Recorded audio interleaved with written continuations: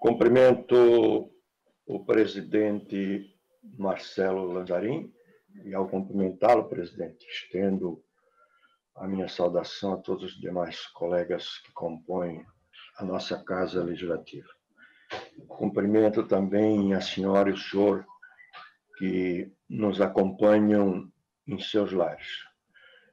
Senhor presidente e colegas, sempre que a humanidade enfrenta alguma dificuldade coletiva, a exemplo atualmente da pandemia da Covid-19, o campo fica fértil para o surgimento de dois segmentos comportamentais bem distintos: o segmento dos canalhas e o segmento dos heróis.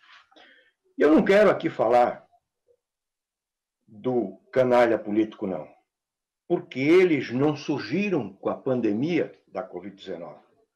Eles já existiam antes da pandemia. Se bem que eu não vou perder a oportunidade de distingui-los em dois grupos também bem caracterizados. Os canalhas que usam da situação para poder roubar e os canalhas demagogos. Eu queria falar do canalha que aumenta dos seus produtos e dos medicamentos necessários ao combate da pandemia da Covid-19. Estes empresários que o Código de Defesa do Consumidor chama de fornecedores, se valem descaradamente da desgraça alheia para aumentar os seus lucros. Aumentam descaradamente o preço dos produtos e medicamentos buscados desesperadamente pelos estabelecimentos que cuidam da nossa saúde e principalmente pela população. Me desculpe a, as expressões.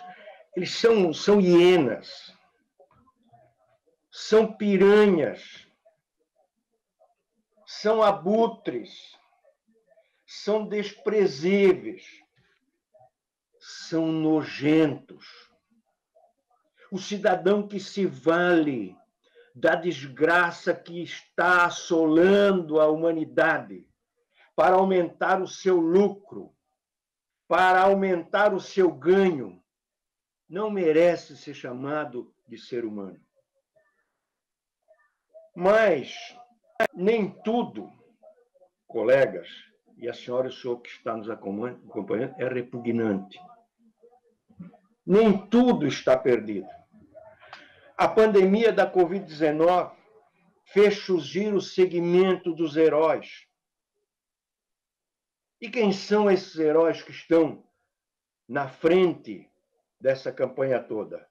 São os profissionais que cuidam da nossa saúde, são os profissionais que cuidam da nossa vida, são os profissionais da saúde, e eu não vou aqui identificar nenhum segmento dentro deste contexto dos profissionais da saúde para não cometer injustiça.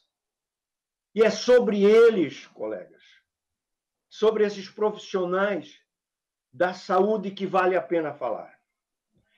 A estes profissionais, os aplausos nossos, da sociedade, eu tenho certeza que todos estão pensando assim. A eles, senhor presidente e colegas, o nosso reconhecimento, o reconhecimento da sociedade.